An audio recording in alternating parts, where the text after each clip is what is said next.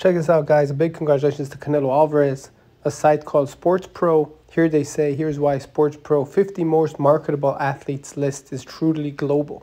And they say, number one, they have Simone Biles. Number two, Naomi Osaka. And number three, um, let me go look. Hold on, I'll tell you because Canelo's number four. But number three, they have Ashley Harris.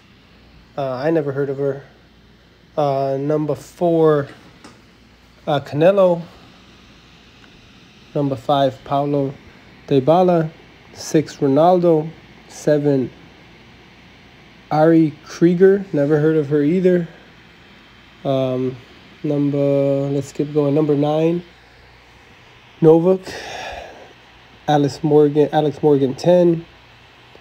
Hardik Pandya, cricket player from India. He's number 11. Messi 12. There's no other fighter really on this list, which is very surprising to me because I personally know that Conor McGregor is crazy popular. I know Nate Diaz is crazy popular. Um, Roger Federer 13. Canelo's definitely on this list, and he. I'm surprised there are no other fighters, boxing or MMA, that this company found as marketable.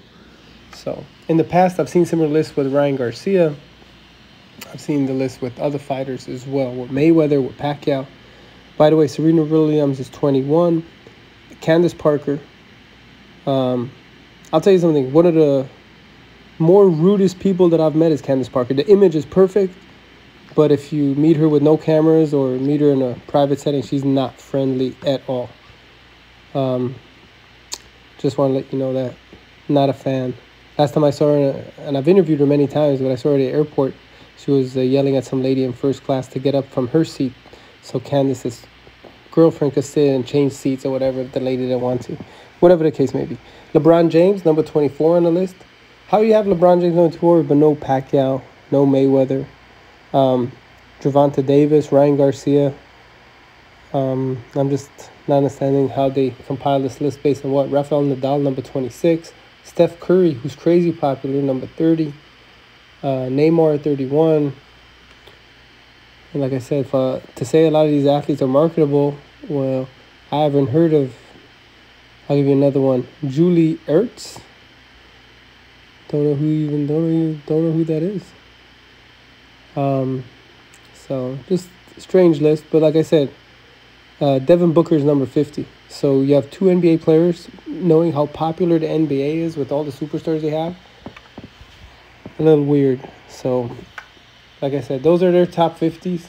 There's no, really no fighter except Canelo, and a lot of the names here are not very marketable. But that's their list, and like I said, congratulations to everyone that's on the list. So there you have it. Stay tuned. FaceReporting.com. I'm Ellie Seckbach reporting. And you can follow me on Twitter at Seckbach. You can follow me on Instagram at Ellie Seckbach.